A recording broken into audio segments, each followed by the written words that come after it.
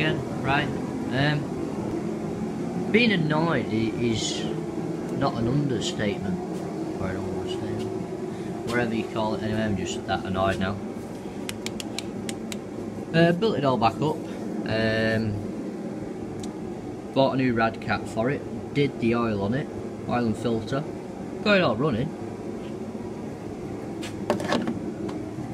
Let's go get the key. So that's first turn of the key. But guess what? We're still pressurising. And now we've got oil and water mixing. Um,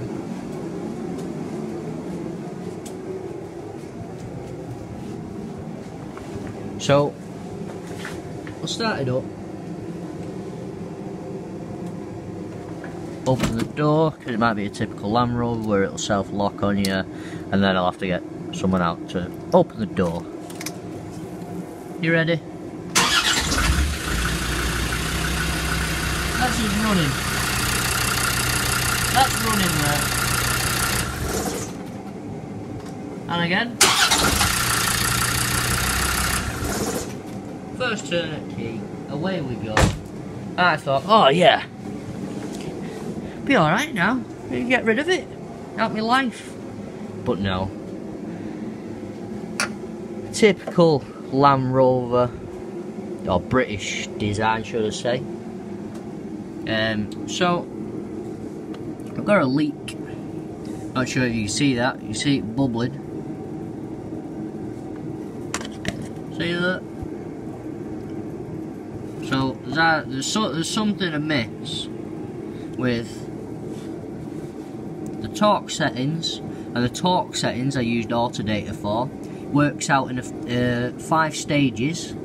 So that is 30 newton meters for stage one, 60 newton meters for or 70 newton meters for stage two, then 90 degrees for stage three.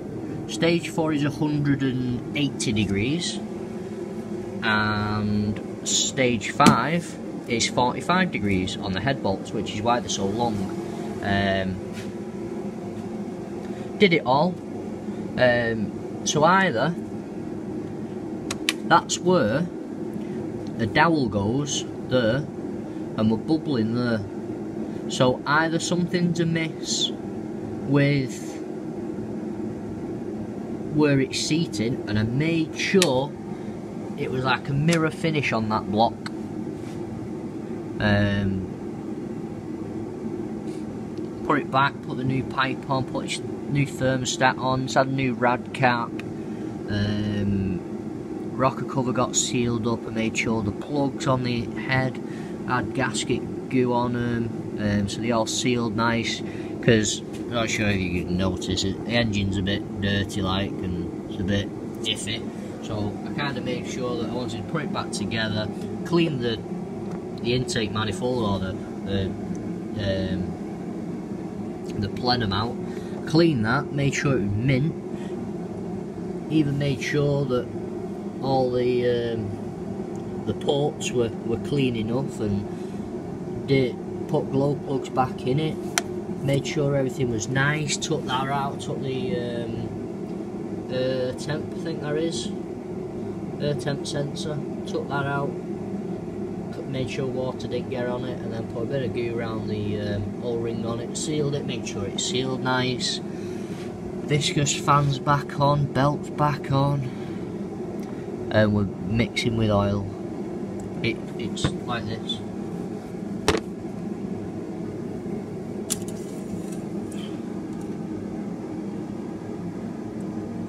Actually, I'll show you the big tub because I had to drain, I was over the maximum level.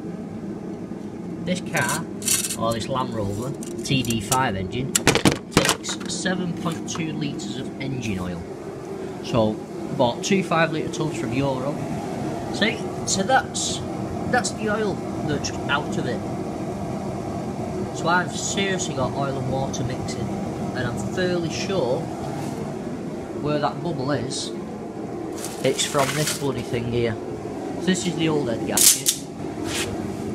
There,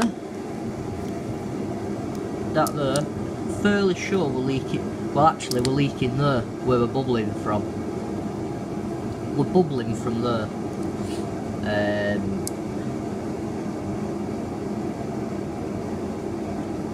so I had to on the new gasket.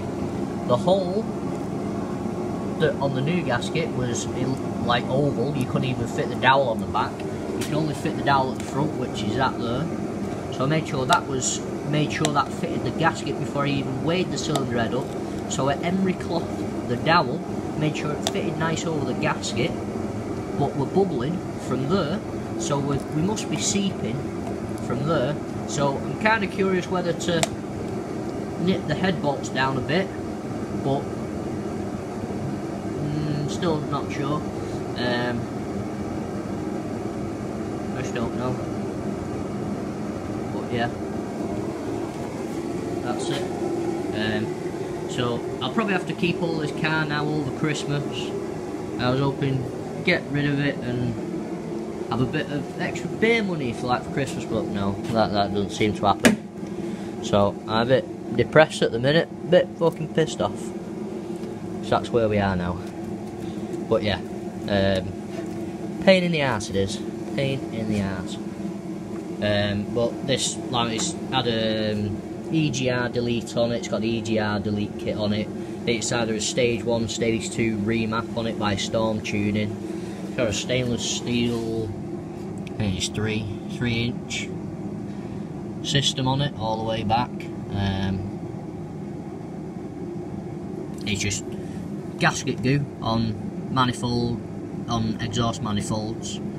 So I picked up from Motorsport using gasket goo or silicon. Re really saves uh, leaks better than exhaust paste, just so you're aware. So yeah, um, that's where I'm at with that one. Um, so yeah, thanks for watching. Um, if you want to help me out, please leave suggestions and comments below and tell me what your thoughts are on it because it's naffing me off.